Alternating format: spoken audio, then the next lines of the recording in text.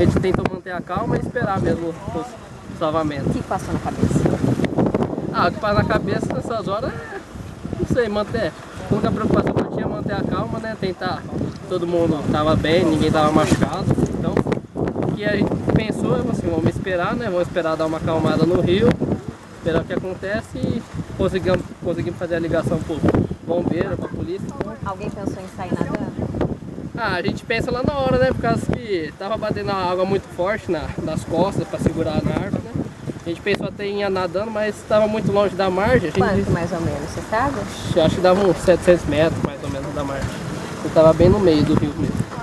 E tava, a correnteza estava forte, tava Então, o, o vento tava muito forte no começo, né? É, até que a gente tava com dificuldade de segurar um pouco no tronco, mas acabamos segurando firme lá, ninguém, ninguém soltou, manteve, mantivemos a calma e esperamos lá. Vocês conversaram ou todo mundo ficou quietinho? Não, a gente conversando, até dando risada de vez em quando para dar uma, uma esquecida, né? Falaram sobre o quê?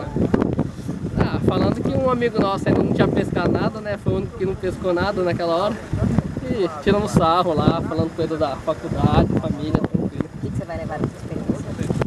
Ah, quando tiver um vento assim, né, meio perigoso para entrar no rio, né, a gente, que a gente pegou de surpresa mesmo. Então, manter mais, ter mais cuidado na, na, na nossa pescaria que a gente faz toda vez. Tá tranquilo. Mas a boca ainda tá roxa, você tá com frio. E tá um pouquinho, né, porque eu molhei a camiseta na hora lá que eu tava no rio lá, mas tá tranquilo. Agora tá menos terra firme e tá tranquilo. Está tudo bem, graças a Deus, graças a Deus. Não pescamos nada, não teve problema nenhum, graças a Deus.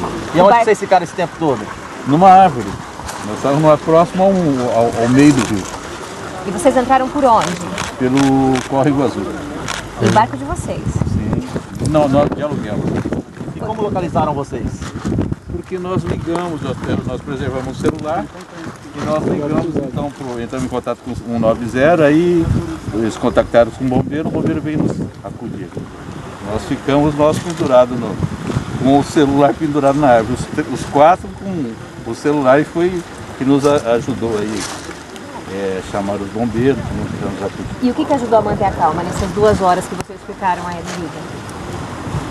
Não, é, é, é, eu acho Ficaram assim. conversando, em Não, ficamos, não, ficamos conversando. Até porque eu, eu, eu tenho -se que manter a calma nessa hora, porque não tem outro jeito. E como nós estávamos numa árvore, num, num lugar seguro, foi. E, e tivemos a, a- Eu tinha um celular como aparelho para contactar, foi que nos acudiu aí. Alguém passou mal? Não, não, no momento. E pretende voltar a pescar?